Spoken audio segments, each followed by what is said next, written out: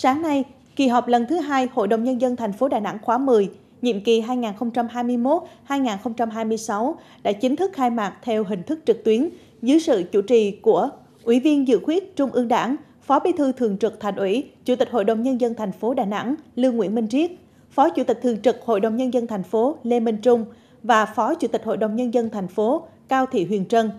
Dự họp có Ủy viên Trung ương Đảng, Bí thư Thành ủy, trưởng đoàn đại biểu Quốc hội đơn vị thành phố Đà Nẵng Nguyễn Văn Quảng, Chủ tịch Ủy ban Nhân dân thành phố Lê Trung Trinh, Chủ tịch Ủy ban Mặt trận Tổ quốc Việt Nam thành phố Đà Nẵng Ngô Xuân Thắng.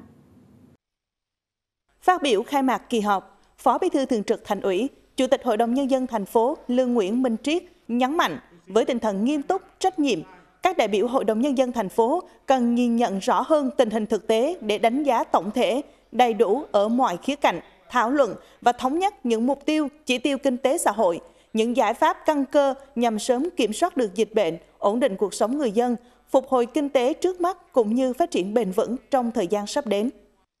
Mỗi ý kiến thảo luận, đề xuất, mỗi quyết định đúng đắn, kịp thời của từng vị đại biểu Hội đồng Nhân dân thành phố hôm nay sẽ là sự quyết tâm đồng hành với chính quyền các cấp để cùng nhau tháo gỡ một số điểm nghẽn trong điều hành trong quá trình triển khai nhiệm vụ của các cấp các ngành mà hơn hết là cùng hướng đến mục tiêu đáp ứng sự mong đợi của cử tri, của nhân dân và của cộng đồng doanh nghiệp. Trong đó, nhiệm vụ quan trọng nhất trước mắt của cả thành phố là phải chiến thắng được đại dịch Covid-19. Theo báo cáo của Ủy ban Nhân dân thành phố tại kỳ họp, hiện nay dịch Covid-19 bùng phát mạnh trở lại, gây nhiều bất lợi lớn cho sản xuất và kinh doanh trong phạm vi cả nước, cũng như toàn cầu, nghiêm túc thực hiện quyết liệt các chỉ đạo của Trung ương, Thành ủy nhằm đảm bảo mục tiêu kép vừa quyết liệt phòng chống dịch bệnh, vừa tháo gỡ khó khăn cho doanh nghiệp. Đến nay, thành phố bước đầu đạt được một số kết quả tích cực. Tổng sản phẩm xã hội 6 tháng đầu năm 2021 ước tăng gần 5% so với cùng kỳ năm 2020, trong đó dịch vụ tăng 5,34%, công nghiệp xây dựng tăng 2,85%, nông lâm nghiệp và thủy sản giảm 0,08% và thuế sản phẩm tăng 7,99%.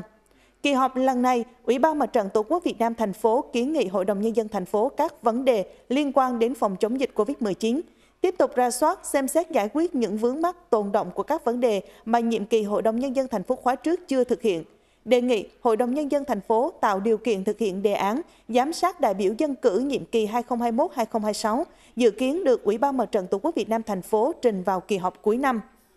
Cũng trong phiên họp buổi sáng, kỳ họp đã tiến hành các nội dung gồm đoàn đại biểu Quốc hội đơn vị thành phố Đà Nẵng báo cáo tóm tắt về kết quả kỳ họp thứ nhất của Quốc hội khóa 15, nhiệm kỳ 2021-2026. Ủy ban Nhân dân thành phố báo cáo về kết quả giải quyết khiếu nại tố cáo và kiến nghị của cử tri. Thường trực Hội đồng Nhân dân thành phố báo cáo tóm tắt về kết quả thực hiện chương trình giám sát năm 2020, giám sát kết quả giải quyết kiến nghị của cử tri, đơn thư tại kỳ họp lần này. Kỳ họp cũng đã tiến hành bỏ phiếu bầu chức danh Ủy viên Ủy ban Nhân dân thành phố đối với ông Phan Thanh Long, chánh án thanh tra thành phố. Phát biểu chỉ đạo tại kỳ họp, Bí thư Thành ủy Nguyễn Văn Quảng đánh giá cao việc Hội đồng Nhân dân thành phố tổ chức kỳ họp lần này theo hình thức trực tuyến, rút ngắn thời gian kỳ họp trong bối cảnh dịch COVID-19 đang diễn biến phức tạp, đồng thời nhấn mạnh các đơn vị địa phương, các vị đại biểu Hội đồng Nhân dân thành phố phải xác định công tác phòng chống dịch COVID-19 hiện nay là nhiệm vụ ưu tiên hàng đầu với tinh thần xuyên suốt là chống dịch như chống giặc. Thay mặt cho lãnh đạo thành phố, tôi kêu gọi nhân dân thành phố, các lực lượng tuyến đầu chống dịch, cộng đồng doanh nghiệp và cả hệ thống chính trị tiếp tục tuân thủ, đồng hành, ủng hộ và thực hiện nghiêm túc, quyết liệt các chủ trương biện pháp của Trung ương và thành phố